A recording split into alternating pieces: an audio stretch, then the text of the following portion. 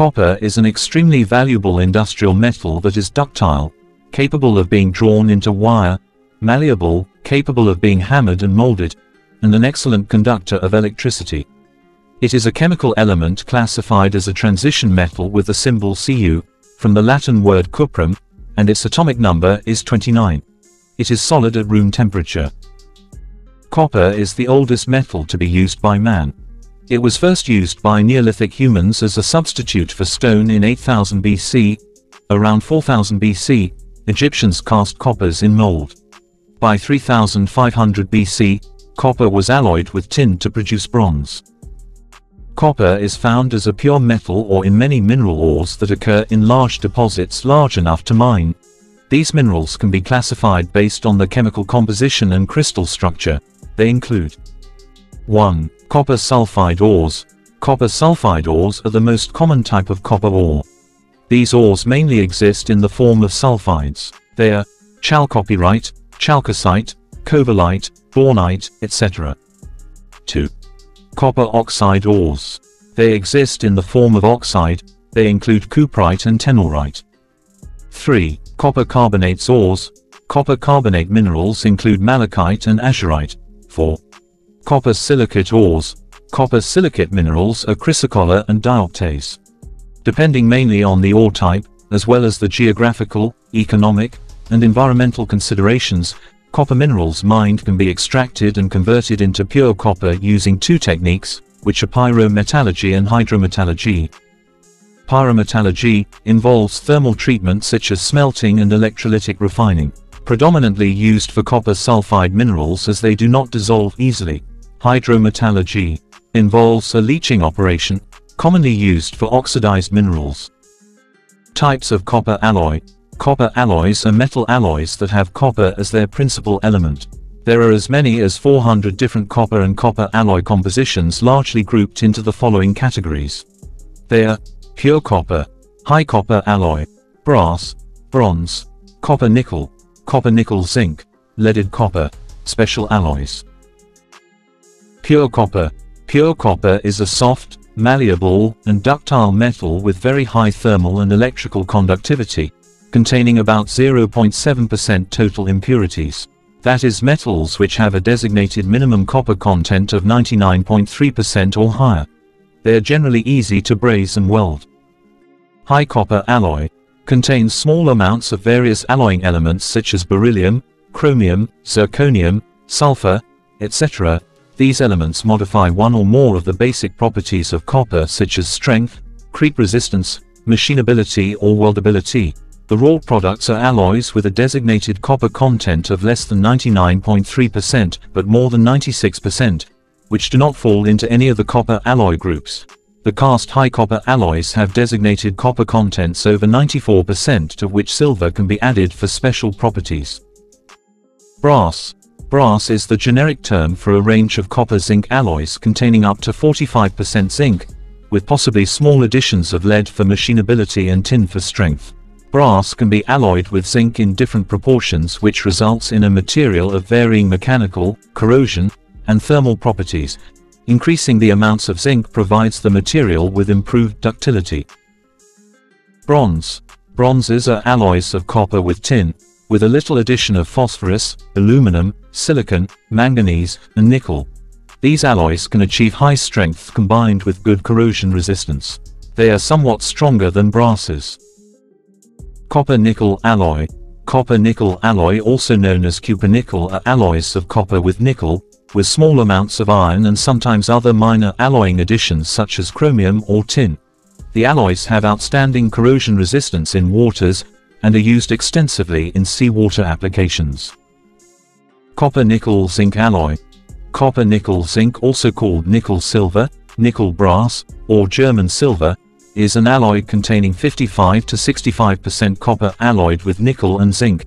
Nickel silver is named due to its silvery appearance similar to pure silver, although they contain no addition of silver. Leaded copper. Copper lead alloys are copper alloys that have 24 to 51% of lead as the major alloying elements. These alloys are strong and resistant to wear, making them ideal for use in high-stress environments.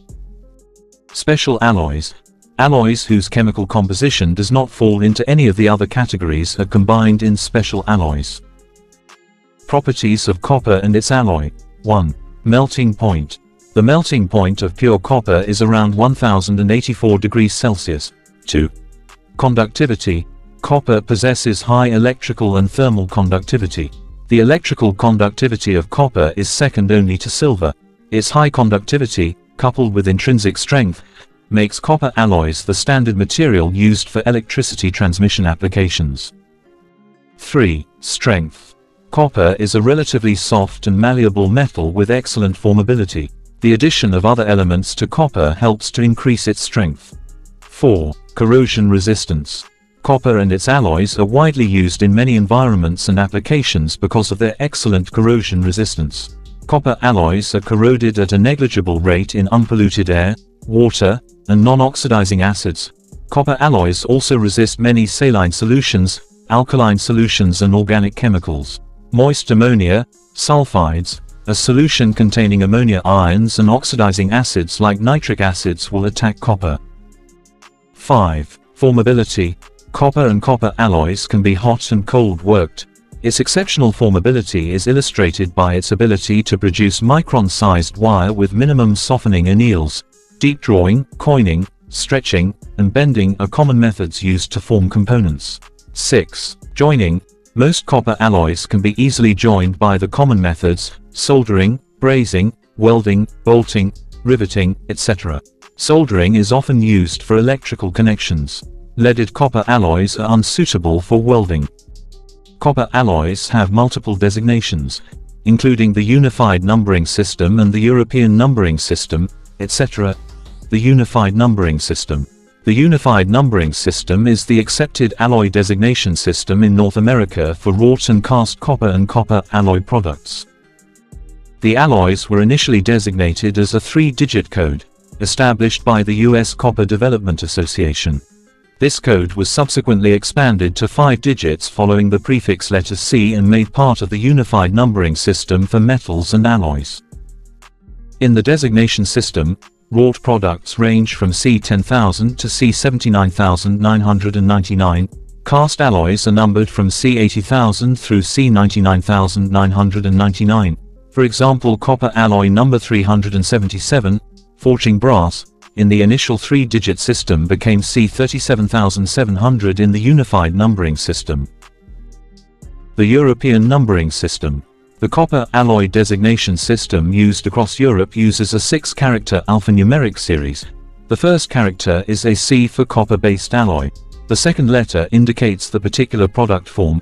These can be either of the following letters. They are B, which represents ingots for remelting to produce cast products.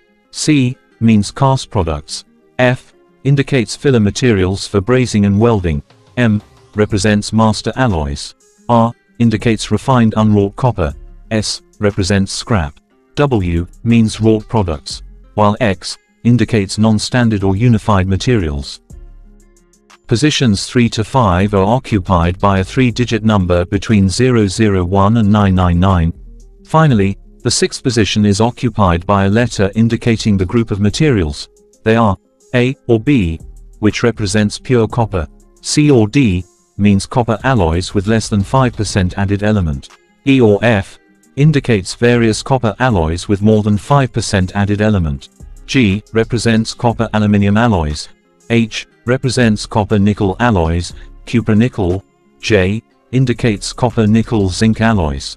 K is a copper tin alloy, L or M, represent copper zinc binary alloys, N or P, indicates copper zinc lead alloys, R or S, is copper zinc alloys complex. Examples are 1. A classic 99.9% pure copper sheet is designated as CW004A. 2. A 70 to 30 cupronickel plate is designated CW354H. 3.